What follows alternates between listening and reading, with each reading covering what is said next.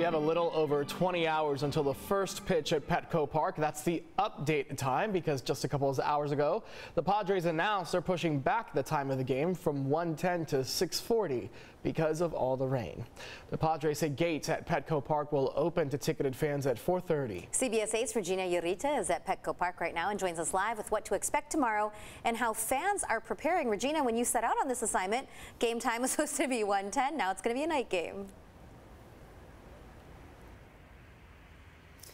Yeah, that's right. We're already seeing changes from the Padres because of tomorrow's weather forecast. Like you said, Marcella, we were all expecting a day game. Uh, so fans were obviously not too excited to hear that now it's a night game. Uh, but this is not a cancellation. This is still a delay. So that's still giving an opportunity for fans and the players to still enjoy a full game tomorrow.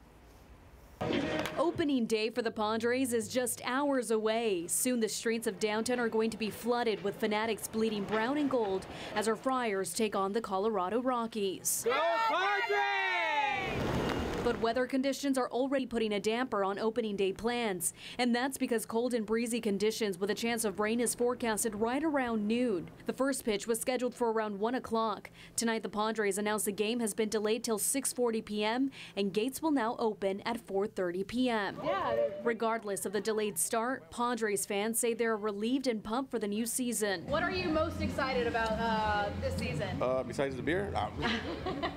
no, hopefully we can make it all the way. So excited. We've been waiting for this season all year long. We're so excited. I spoke with a Padres spokesperson this evening who tells me fans need to leave umbrellas at home and instead bundle up or pack your ponchos and raincoats.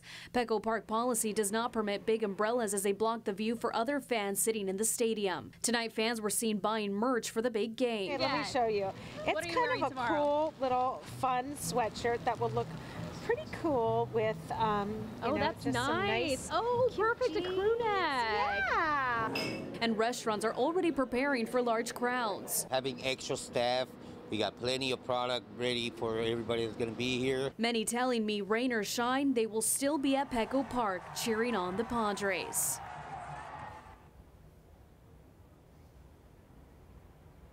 Now, this is definitely a first for San Diego opening day. So a lot of fans actually took to social media to express their frustration. Some of them already saying they might have to sell their tickets. Others are pretty much uh, relieved that the game is still going on. So they've set up their uh, Juan Soto alarms and uh, they're just excited that the game will continue tomorrow. Marcella and Jesse. Now, Regina, fingers crossed this doesn't happen, but if the weather forces the game to get postponed, can fans get a refund on this?